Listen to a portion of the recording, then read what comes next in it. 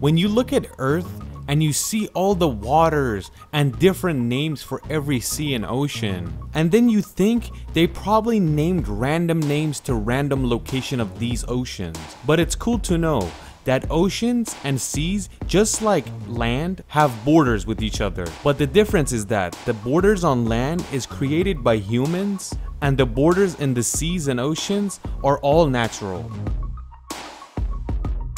When you look at the border between the Atlantic and Pacific Ocean, you'll think that it's an invisible wall separating these two. An invisible wall that you cannot see. Why don't they mix? Why do they have different colors? We 100% know that there is no wall separating these two, but somehow they're not mixing with each other. It's like they have different blood types. Water is usually mixed with each other, so what's stopping these? Differences. When there are differences, mixing is a lot harder.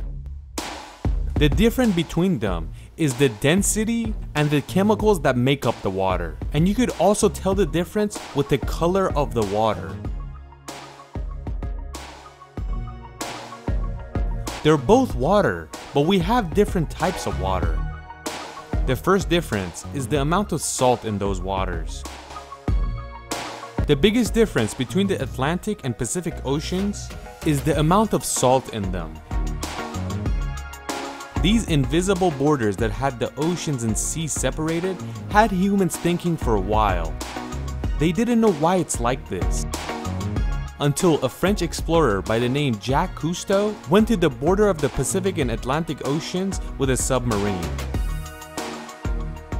Jacques Cousteau thought the borders is only visible on top of the water, but as he went down, he realized that until the bottom of the sea, there's a difference. When he did research, he realized that these two bodies of waters have different densities and the amount of salt is different. And that is why they don't accept each other. You could kind of do this at home. Get two cups and make two different types of salt water, one with a lot more and one with less. Then mix them in one cup and you could clearly see the one with the more salt goes to the bottom and the less salt comes on top. And they also create a border with each other. In a cup, you could see up and down, but in the ocean is like east to west, north and south. If you remember in school, we learned that whichever liquid has more density sinks to the bottom. But you don't see that in the ocean. If it was like that, just like the cup, you would have to go down in the ocean to see the difference. But why doesn't this happen in the ocean? First we have to know that the densities between ocean waters are not that big, meaning it's not that big of a difference for it to go up and down. Another reason that these don't mix is the rotation of the planet because these huge bodies of water are affected with the Earth's rotation. And the rotation has a huge influence on the bodies of water and how they flow. And it does something that between these waters, an invisible line or border is created, and this causes them to look different.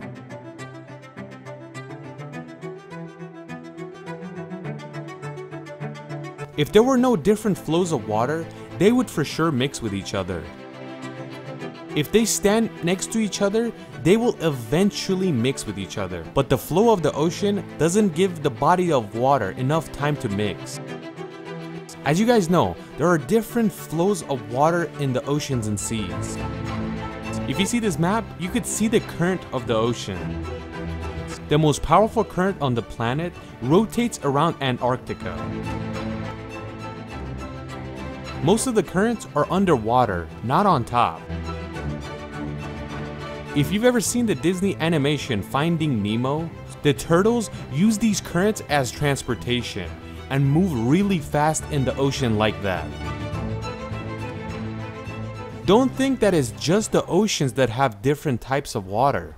A lot of different places in the world you can find these borders in the waters. Like one of the cool differences is founded in the North Atlantic Ocean. a sea called Sargasso. Sargasso has created a border and has separated itself from the Atlantic.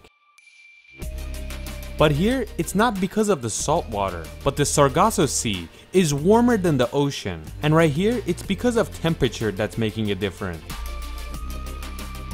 Next place is the Baltic and Northern Sea. Density has created a wall between these waters. These two bodies of water hit each other and create foam in between them and create a border.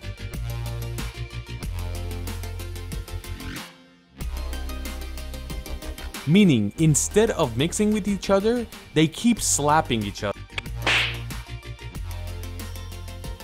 Up next, we have the Mediterranean and Atlantic.